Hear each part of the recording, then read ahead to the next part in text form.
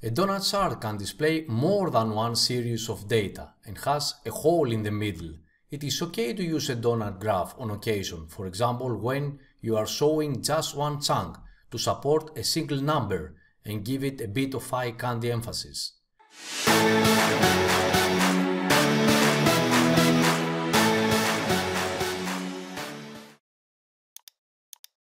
Here we have a little data table with the percentages of land area and water area on Earth.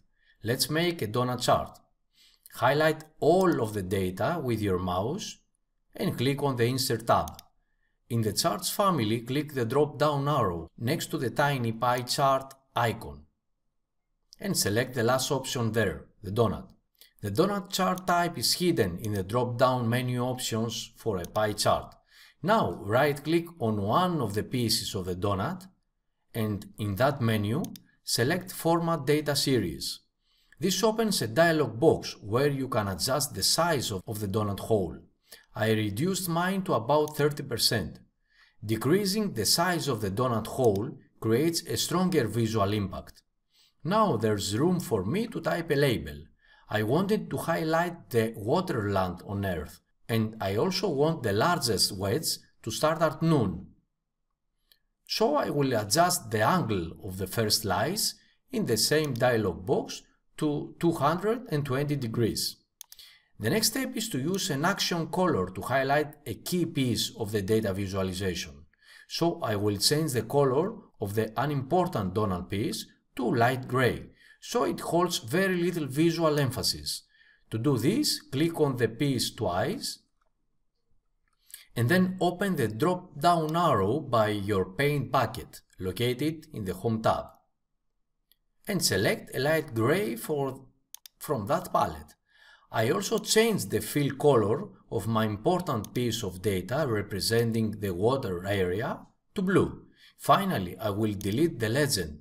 Just click on it and hit the delete key and I will add a text box to the graph with my main message.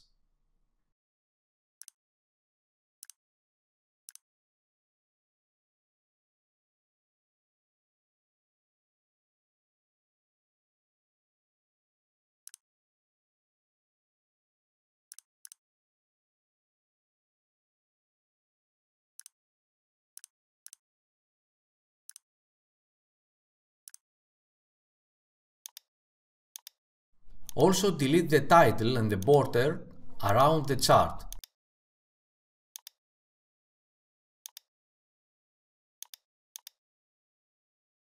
Finally, remove the grid lines. The same process works for the pie chart. Let's do it.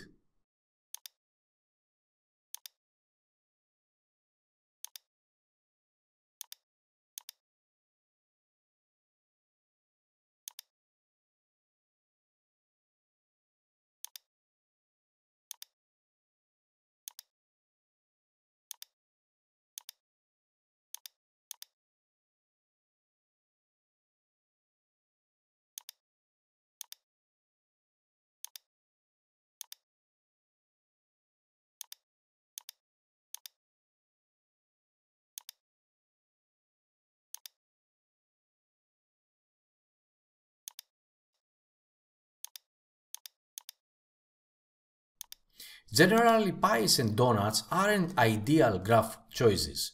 However, in these examples, we aren't asking our audiences to do much mental work because we have muted all but one piece of the graph. It's always better to highlight just one wedge of the pie to support your point. I hope you enjoyed the lesson and you managed to understand how to make effective donut or pie graphs. If you enjoyed this video, give it a thumbs up. And if you want to improve your skills, please subscribe. Don't forget to hit that bell so you don't miss out when I put new videos here.